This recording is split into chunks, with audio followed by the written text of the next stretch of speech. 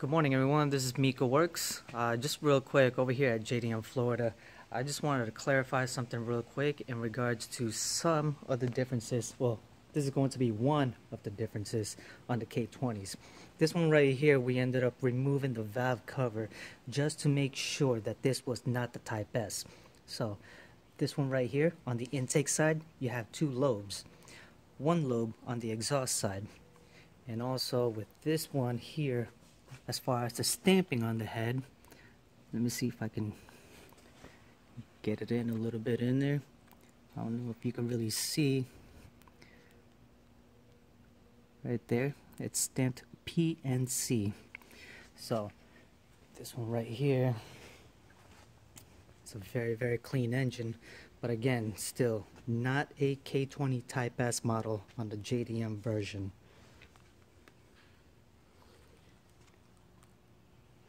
Actually, what I'm going to end up trying to do is possibly crack open another K20 uh, to see if there's any other differences in the head stamp as far as people asking about the PRC and the PRB head stamp and then also with the three lobes on the intake manifold and uh, the one on the exhaust manifold. I just want to take a look at and see if there are any other differences in regards to these K20s uh, just to clarify a few things out there in the JDM world.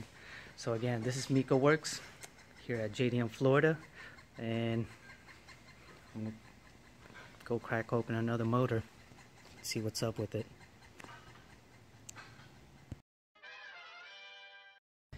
Good morning everyone. Once again Miko Works here at JDM Florida. Um, I ended up cracking open another K20 engine here. Um, this one is not stamped PNC on the head. This one is stamped PPA right over here. Now this is a JDM K20A motor.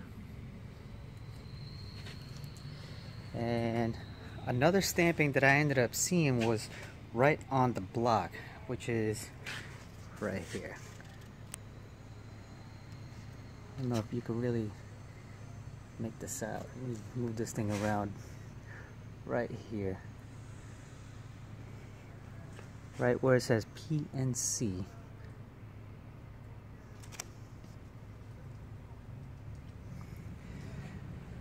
So once again, on the intake side, right here on the intake side, you've got the two lobes. Exhaust side has a single lobe.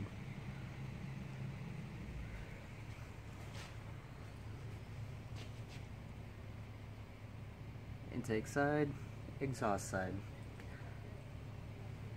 So, you know, again, I just wanted to uh, see what the differences were in regards to this. I'm actually trying to look for a very specific type of motor in regards to, you know, the K20A Type S model that people are asking about.